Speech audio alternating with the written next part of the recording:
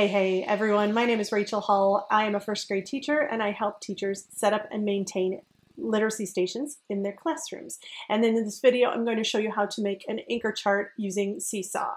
And I've already shown you how to do it on Google Slides, so that link will be below. But today we're going to use Seesaw. So we're going to want to make anchor charts digitally because it is so difficult right now to make and share your anchor charts with your students. And so in this virtual or hybrid environment that we're finding in, we need every bit of uh, help reaching our students as we can. And when we're able to move around in our classrooms freely again, which I believe we will, we can still keep our digital anchor charts and push them out to our students at their literacy stations. I've written an article on how to do this and create them, and it's available on teachingfirsties.com, and that link will be below in the comments. So we're going to make our anchor chart today on main idea. And if at any time I go too fast, please pause the video and work at your own pace and catch up.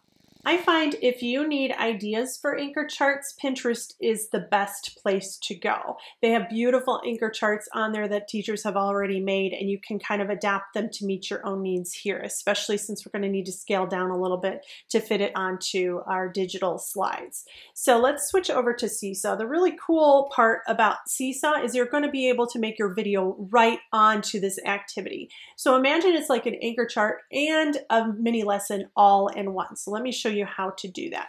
So within your Seesaw app, you're going to click on create a new activity and then choose a template and you're going to use the drawing tool. And all you need to do to add a video is click on the camera and then the video. Now you can see there I am right now. You can click on any of these three dots um, to make the video go. So I'll push it. We've got a three second countdown here. And now I'm recording. And when I'm finished, I click done.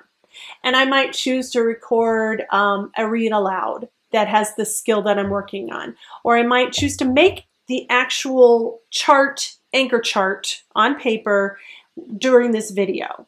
So depending on what you want your students to learn, you would put a mini lesson right here. And when you're done, you click on done and now it is now added right to your first slide of your seesaw activity. You can uh, resize it and you can always choose to add more information over here. I always lock it down. That way the students cannot move it, but they can still watch it. You can always decide to add more information on a second page, but I'm going to just add my information right here on my chart. So I'm going to click on the text box. I'm going to type in main idea, and I can move that over here. And then I'm going to add another text box, and we're going to say what the story is mostly about.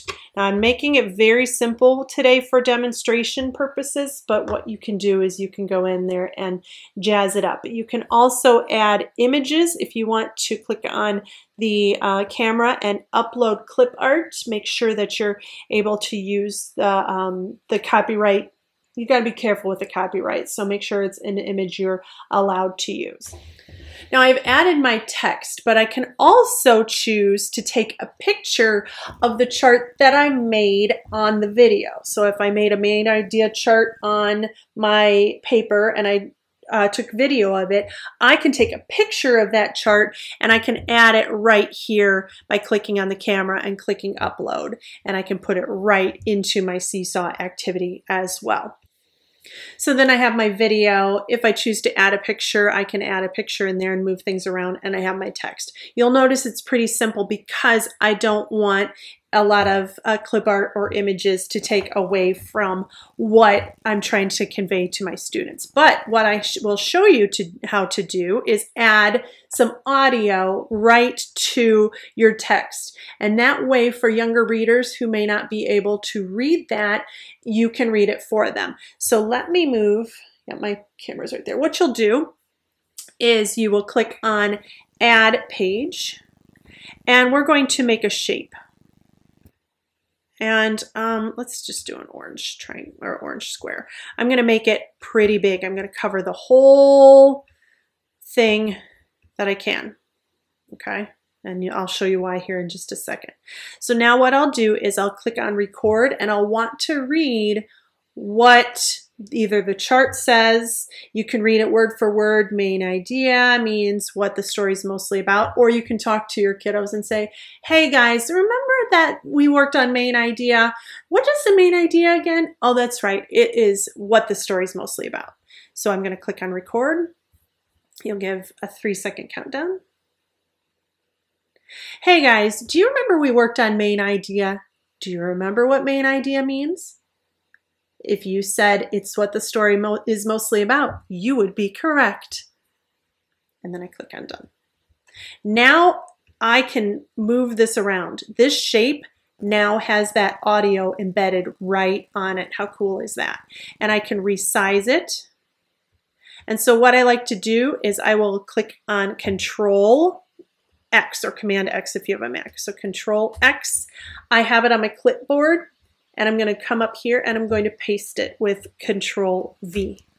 And I'm going to resize it and I am going to put it right here for the students to be able to play and I'll lock it in. They can still play it.